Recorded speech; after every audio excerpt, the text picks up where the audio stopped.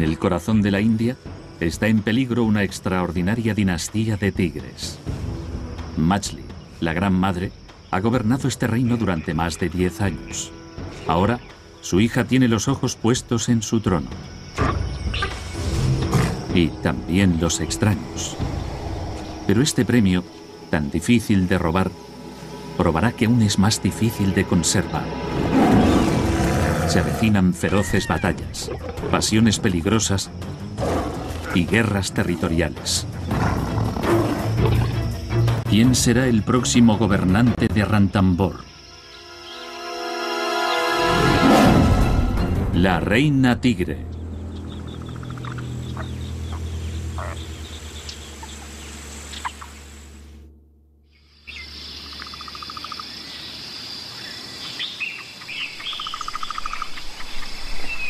Amanece en el Parque Nacional de Rantambor, al norte de la India, y una joven tigresa de Bengala está al acecho. Satra, de casi dos años y medio, ha empezado a afinar sus instintos asesinos. Hace seis meses comenzó a cazar por su cuenta. El primer paso fundamental para su autosuficiencia. Satra ve una posible víctima.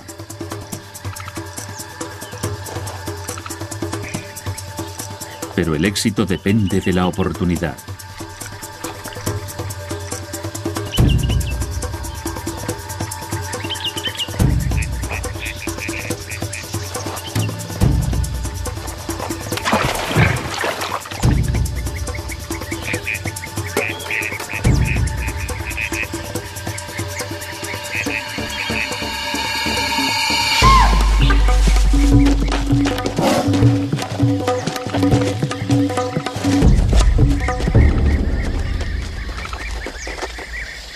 Carece de experiencia, pero la adquirirá. Hasta entonces, los antílopes podrán vivir otro día. Pero Satra no va solo tras la cena. Acecha para controlar todo un reino.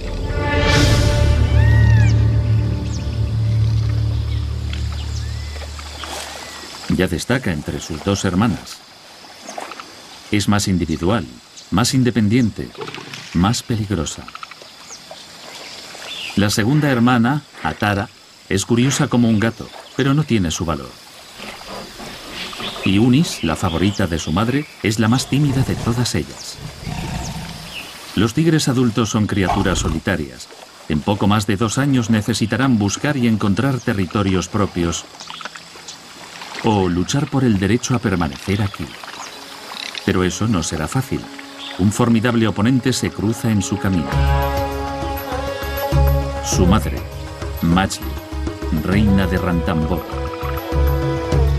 Sus diez notables años de gobierno han extendido su fama por toda la India.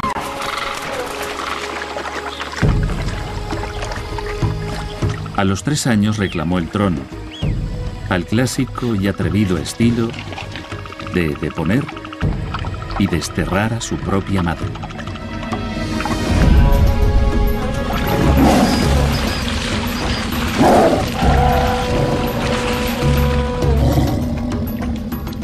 Y ha luchado desde entonces defendiendo el territorio del fuerte de Ratambor con todas sus fuerzas, poniendo en ello su propia vida.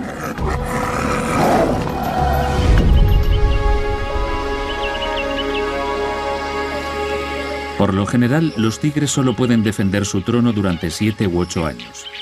Los diez años de reinado de Machli dan testimonio de su extraordinario coraje y tenacidad. Y vale la pena luchar, porque están en juego cosas importantes. Rantambor es uno de los mejores territorios de la India para los tigres. Con un antiguo fuerte de mil años de antigüedad en el centro, el lugar proporciona abundante alimento y agua durante casi todo el año. El cercano lago Rajbagh atrae las presas que necesitan los grandes felinos. Sambares, ciervos manchados y jabalíes. El Parque Nacional, con más de 400 kilómetros cuadrados de naturaleza, es uno de los grandes y últimos santuarios del tigre del norte de la India. También es un refugio para otras especies salvajes.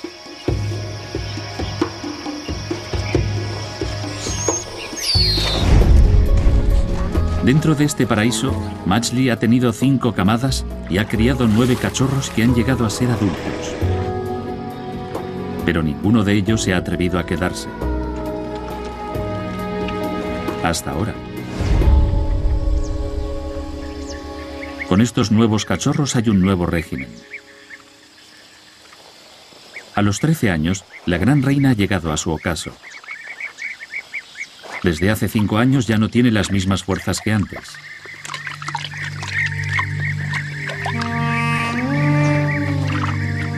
Y Satra lo sabe. Por ahora, Majli disfruta de su antigua gloria. Pero tal vez presiente que el fin está cerca.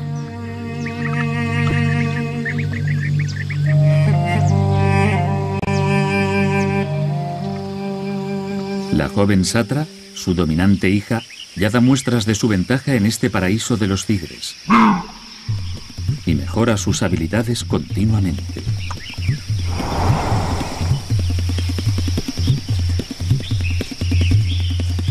Machli le ha enseñado los fundamentos de la caza. El resto depende de Satra.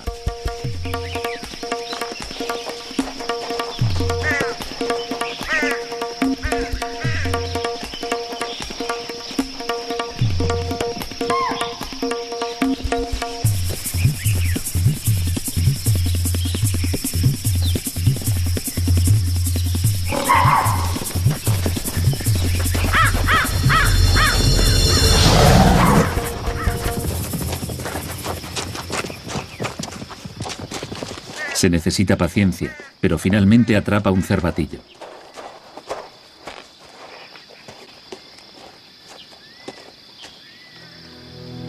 Con cada éxito, aumenta su independencia y crece su ambición. De las tres hermanas, ella será la primera que podrá establecerse en su propio territorio. Y Satra piensa quedarse aquí, en el único hogar que ha conocido, aunque eso signifique la guerra. Con el paso de los meses crece la confianza de Satra, lo suficiente para dar el primer paso en su búsqueda de poder. Pero no en contra de su madre, todavía no.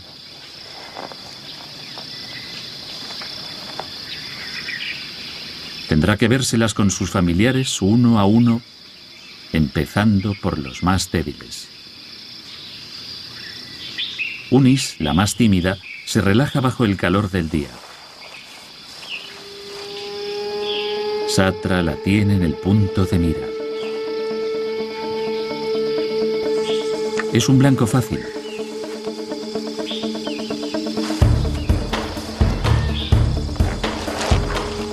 Cuando eran cachorros, seguramente las hermanas jugaban a acecharse y luchaban, así que Unis no presiente el peligro.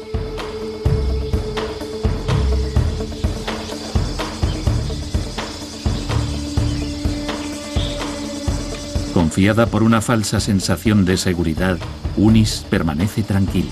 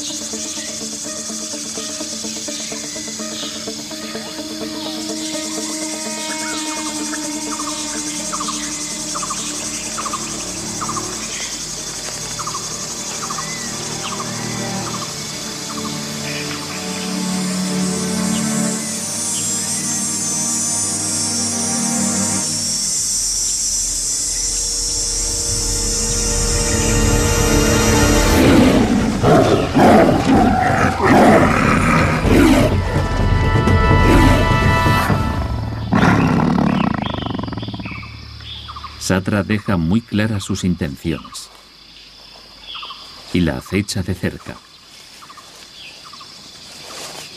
Los días de inocente rivalidad entre hermanas han terminado. Satra seguirá acosándola así. Unis está ahora a merced de su decidida hermana.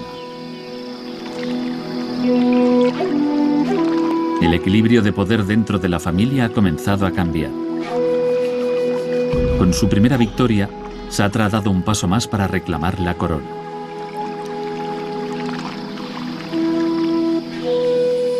Derrotada y desanimada, Unis se acerca al resto de su familia.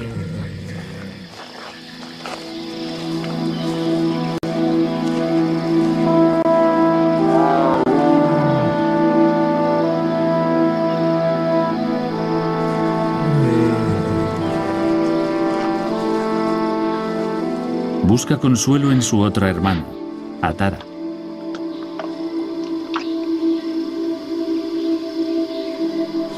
El violento ataque de Satra no ha sido una amenaza en vano. Unis sabe que si se queda aquí, corre el riesgo de nuevos ataques. Unis no tiene otra opción. Tendrá que encontrar un nuevo territorio. Esta puede ser la última vez que estas dos hermanas están juntas.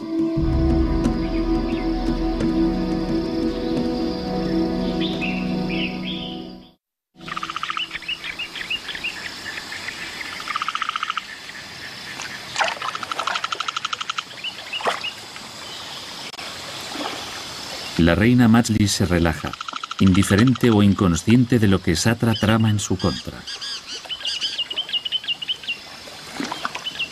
No es ajena a los conflictos y siempre ha aplastado a sus adversarios.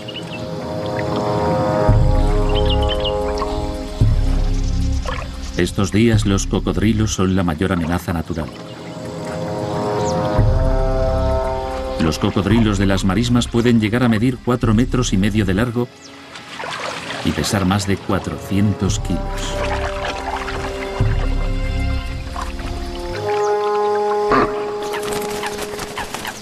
Majli siempre ha enseñado a sus cachorros a estar alerta en la orilla del agua, donde los cocodrilos tienen ventaja.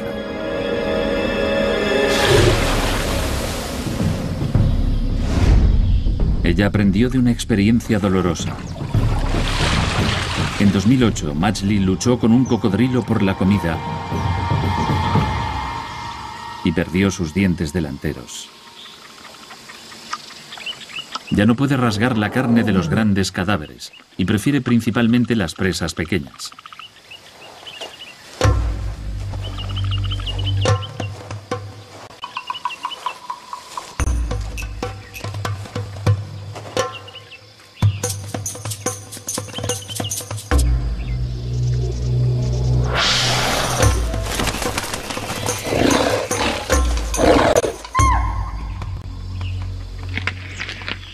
Sobrevivido porque es resistente y adaptable. Pero ahora que está vieja, su ambiciosa hija podría ser aún más dura.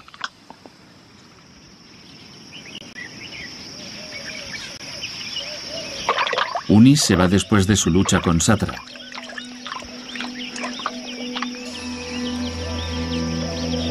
Se queda en el Parque Nacional de Rantambor, pero es una extraña en un ambiente extraño.